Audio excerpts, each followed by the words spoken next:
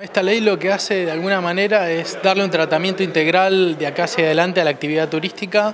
eh, justamente derogando algunas leyes que habían quedado obsoletas por el paso del tiempo y por el dinamismo que tiene la actividad turística y esta ley nos va a permitir eh, empezar a, trabajar de manera propositiva con todo este dinamismo que tiene el turismo hacia adelante. Y además se crea el Consejo Provincial de Turismo, es un órgano participativo donde van a tener vos todos los municipios de la provincia en lo que tiene que ver con analizar cómo se desarrolla la actividad, cómo se va actualizando y poder proponer herramientas para justamente favorecer especialmente a los destinos emergentes dentro de la provincia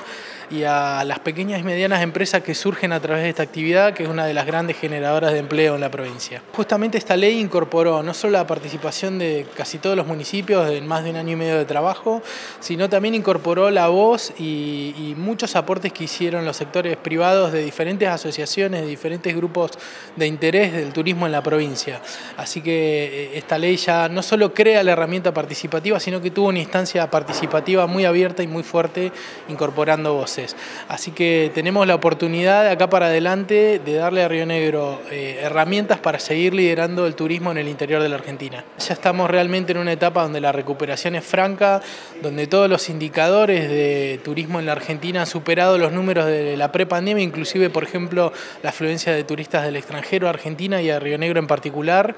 y eso hace que la actividad no solo sea un gran generador de empleo en Río Negro, sino que sea en este primer cuatrimestre del 2023 el primer generador de empleo en Argentina, lo cual nos pone en un lugar eh, de mucha responsabilidad para seguir creciendo en relación a este gran estímulo que es el turismo para la comunidad.